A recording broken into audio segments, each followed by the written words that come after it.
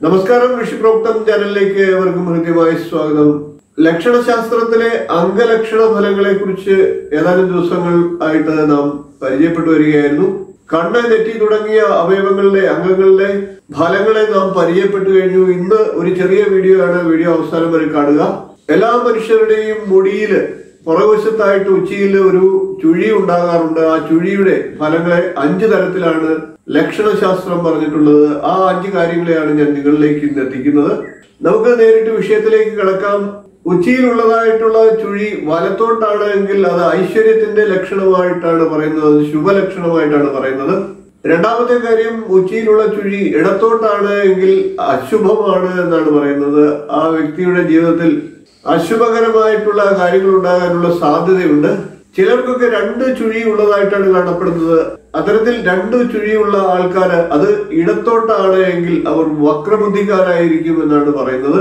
അതേസമയം വലത്തോട്ട് ചുഴിയുള്ള രണ്ട് ചുഴിയുള്ള വ്യക്തികൾ വലിയ വ്യവസായ പ്രമുഖരായി തീരും എന്നാണ് പറയുന്നത്.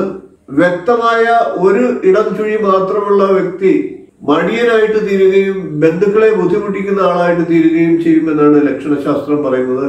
ഇന്നത്തെ വീഡിയോയിൽ ഇത്രയും കാര്യങ്ങളേ ഉള്ളൂ. ഈ കാര്യങ്ങളെല്ലാം തന്നെ പഴമക്കാർ പറഞ്ഞിട്ടുള്ളത് മാത്രമാണ്. ഇത് ഫലത്തിൽ എത്രമാത്രം അനുഭവത്തിൽ വരുമെന്നുള്ളത് മറ്റ് ആ വ്യക്തിയുടെ കാര്യങ്ങളെ കൂടി അടിസ്ഥാനപ്പെടുത്തിയായിരിക്കും.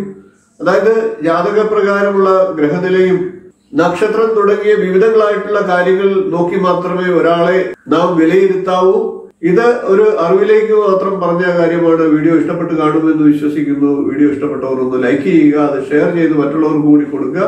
ഇതുവരെ ചാനൽ സബ്സ്ക്രൈബ് ചെയ്തിട്ടില്ല എങ്കിൽ ദയവായി സബ്സ്ക്രൈബ് ചെയ്യുക. തൊട്ടടുത്തുള്ള ബെൽ ബട്ടണിൽ മുകളിലുള്ള ഓൾ എന്ന ബട്ടൺ കൂടി സെലക്ട് ചെയ്യുക. ഞാൻ തുടർന്ന് നൽകുന്ന വീഡിയോകളുടെ നോട്ടിഫിക്കേഷൻ നിങ്ങൾക്ക് അതുവഴി ലഭിക്കുന്നതാണ്. നമുക്ക് ഇനിയും കൂടുതൽ കൂടുതൽ നല്ല വീഡിയോകളുമായി വീണ്ടും കാണാം. അതുവരെ എല്ലാവർക്കും നന്ദി നമസ്കാരം.